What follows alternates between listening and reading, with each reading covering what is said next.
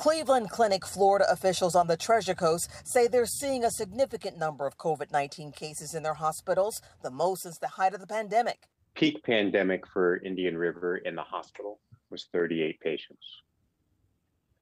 Today we have 101. In Martin North, we have more than 100 patients in the hospital. At Traditions, we have more than 75 patients hospitalized. Dr. Richard Rothman is the physician lead for the COVID operations response team in Florida. He says most of the patients are unvaccinated. The rate at which these patients are coming in is far outpacing what we saw just a year ago. He says, fortunately, the healthcare providers, both within the hospital and the community, have stepped up and allowing them to care for patients without limitations. He's urging for the public's help. We want to be able to see the end of this pandemic. We encourage vaccination, we encourage masking, we encourage keeping each other safe.